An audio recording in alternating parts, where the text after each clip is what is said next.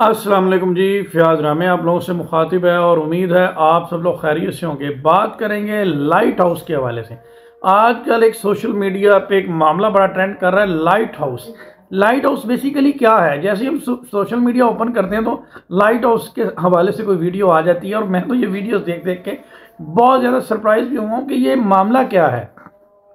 کوئی کہہ رہا ہے جی وہاں پہ بندے کو ہیلی کاپٹر سے نیچے پھینک دیا جاتا ہے۔ اور بندہ وہاں پہ اکیلا جا سکتا ہے۔ کوئی کہہ رہا ہے کہ وہاں پہ بتیس کروڑ سیلری ہے، کوئی کچھ کہہ رہا ہے، کوئی کچھ کہہ رہا ہے۔ اور پاکستان میں سے بھی بہت زیادہ لوگ اس جاب کے لیے جو ہے وہ اپلائی کر چکے ہیں۔ تو اب آج کی ویڈیو بنانے کا مقصد یہ ہے کہ لائٹ ہاؤس کے جس کے بارے میں کہا جاتا ہے کہ چار سو لوگ وہاں پہ گئے ہیں، جس میں سے دو یا تین لوگ اس نوکری میں کامیاب ہو سکے، باقی سب کی موت ہو چکی ہے۔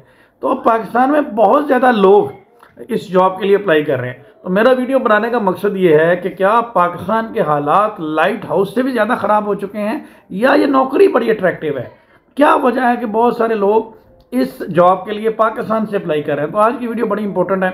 سب سے پہلے میں آپ کو بتا دوں کہ لائٹ ہاؤس کے بارے میں ایک آئس لینڈ میں بتایا جاتا ہے کہ ایک مینار ٹائپ ایک جگہ ہے، ایک اونچی چٹان کے اوپر ایک جگہ ہے، جس کے اندر ایک لائٹ ہے جو پرانے زمانوں میں جو جہاز ہوتے تھے، ان کو ڈائریکشن کو نیویگیشن کا یہ کام کرتی تھی۔ اور اس کو بلب کو ایک ایک لائٹ کو روشن کرنا ہوتا ہے اور اس میں ایک بندہ جو ہوتا ہے، وہ جس کو یہ جاب دی جاتی ہے، وہ رہتا ہے اس میں۔ اور اس کا فنکشن صرف یہی ہوتا ہے۔ اور بتایا یہ جاتا ہے کہ اس کے پاس کسی قسم کی کوئی ایکسیس انٹرنیٹ وغیرہ اور یہ چیزیں نہیں ہوتی۔ اور جس شخص کو بھی یہ جاب دی جاتی ہے اس شخص ایک کنسنٹ جو ایفیڈیوٹ ہے وہ لیا جاتا ہے کہ اگر اس کی جان کو کسی قسم کا کوئی نقصان پہنچتا ہے تو وہ خود اس کا رسپانسیبل ہوگا۔ وہاں کی اسٹیٹ اس کا رسپانسیبل نہیں ہوگی۔ اس کی وجہ یہ ہے کہ وہاں پہ انسانی زندگی کی قدر و قیمت ہے اور وہ آپ کو جاب تو دیتے ہیں، تو لیکن وہ یہ کہتے ہیں کہ اس کی رسپانسبلٹی آپ کی اپنی ہوگی۔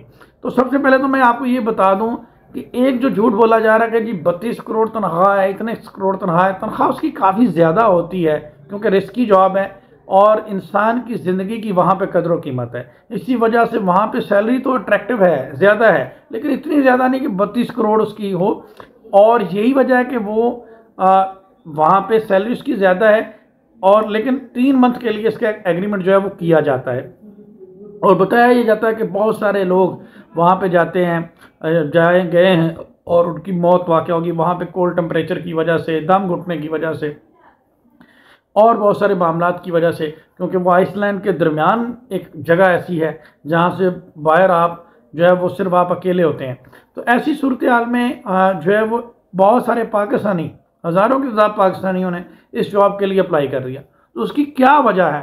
کیا پاکستان کے حالات آئس لینڈ سے بھی برے ہو گئے ہیں؟ اس آئس لائٹ اس لائٹ ہاؤس سے بھی برے ہو گئے کہ لوگ وہاں پہ جانا چاہتے ہیں۔ تو میں اس میں یہی کہوں گا کہ کہ یا لوگ یہاں سے نکلنا چاہتے ہیں، کیا وجہ ہے؟ یہی وجہ ہے کہ پاکستان میں اس وقت جو پاکستان کی جو گورنمنٹ ہے، پاکستان کے جو لوگ ہیں، پاکستان کے جو حکمران ہیں انفارچونیٹلی وہ لوگوں کو ڈلیور کرنے میں ناکام ہو چکے ہیں۔ اور اتنی برے طریقے سے ناکام ہو چکے ہیں کہ کسی قسم کا کوئی لا اینڈ آرڈر کوئی جسٹس سسٹم نہیں رہا۔ اور لوگوں کو وہاں پہ لوگ ڈیتھ سرٹیفکیٹ ہے ایک طرح کا۔ اس کے اوپر سائن کرنے کے لیے تیار ہیں۔ کوئی کہہ رہا ہے جی کہ پٹھان کا بچہ پہنچ گیا، کوئی کہہ رہا ہے وہ پہنچ گیا، کوئی کہہ رہا ہے وہ پہنچ گیا۔